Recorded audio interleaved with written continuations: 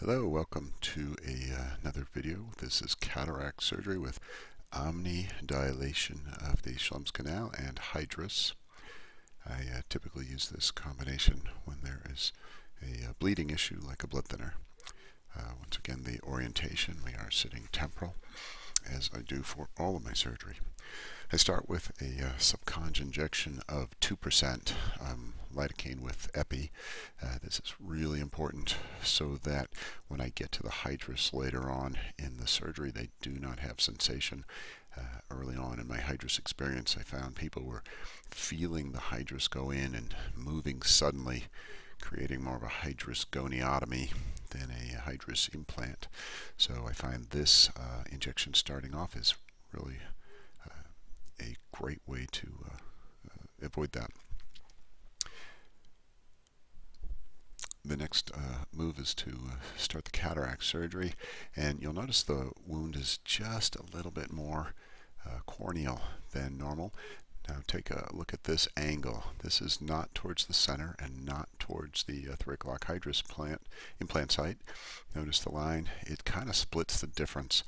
This is really important uh, to have that angle and I'll show you why later.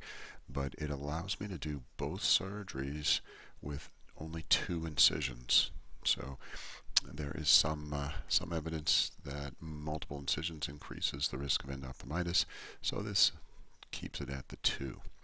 Uh, I have sped up the uh, cataract part here because this is a Omni Hydrus instructional video and not a cataract video.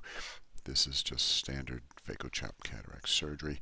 I did want to show it though um, to demonstrate that I can do the surgery without any problem through the wound, um, even the paracentesis wound, even oriented at that slightly offset direction. So at this time, I also want to um, thank uh, Rob Noecker for introducing me to the idea of Omni Hydrus. It's been uh, extremely helpful. Like I said, when we have uh, people on blood thinners like Eliquis and Plavix and things, um, any kind of bleeding from the hydrus site can really disturb uh, the surgery and make it impossible to do an implant. It slows everything down.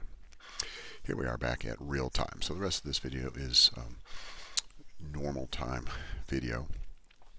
And what you see me doing now is preparing for the uh, Omni and Hydrus part. So I like to start with Miostat, pull the iris away from the angle. It gives better visualization. I know not everybody does this, but I, I really find it useful. And here what you see, I'm, I'm actually touching the iris as I'm injecting. I'm doing what you normally don't want to do, but by touching the iris with the miostat, you can see the pupil come down. You just have to give it a little bit of time before you do the next step, which is to put in some um, non-preserved uh, lidocaine. And this, again, this is to make sure there is absolutely no sensation in the meshwork area when I go to do the hydrus. I have had too many people jump suddenly, uh, causing quite a disturbance in the angle.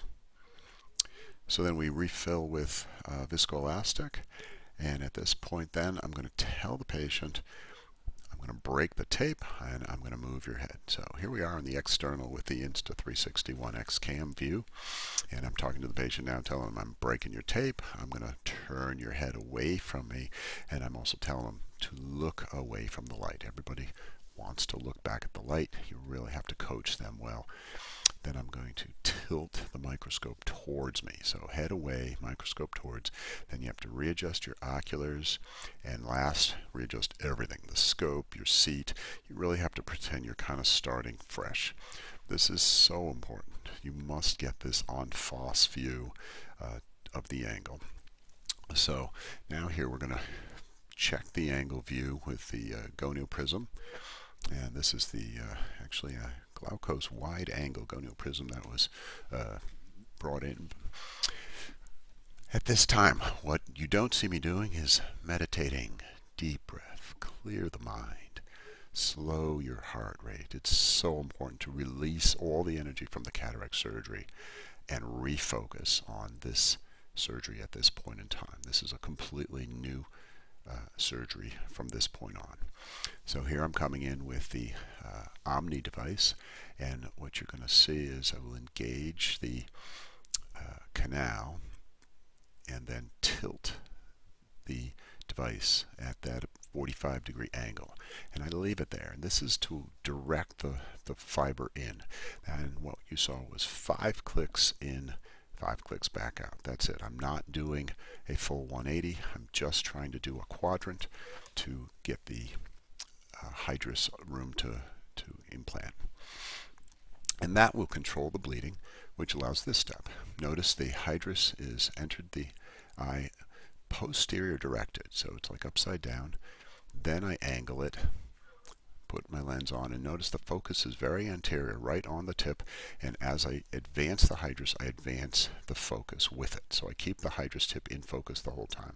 Again, look at the angulation. It's angled up. Hydrus goes in beautifully. It's well seated.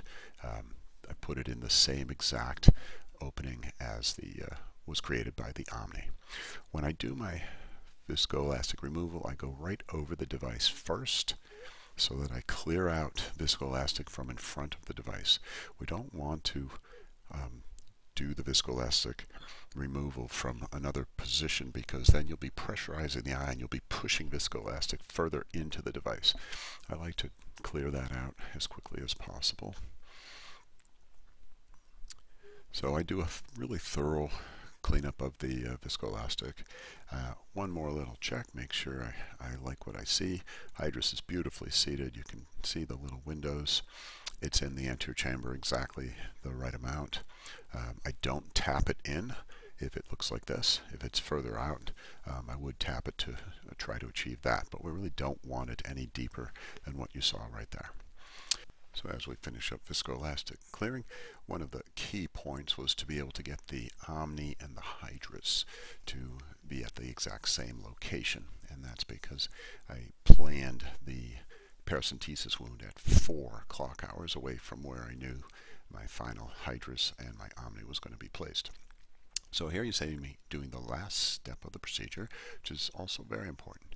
We reorient the head back to neutral, uh, reposition the scope. Sometimes I'll make it more vertical as well. And the goal here is to double check the position of the lens to make sure it has not shifted at all during any of the other manipulations. And at this time I will uh, move it or sometimes there's uh, extensive bleeding from the hydrus so I will go in and do another round of IA. And in this case I wasn't too happy with the uh, lens location. So I go in with a BSS cannula and just give it a small little nudge. There we go. And that puts it exactly where I want it. We can see there's a small amount of reflux from the hydrus up at 3 o'clock. And that is exactly the way we like these cases to go. I thank you very much for your attention to this cataract with Omni and Hydrus.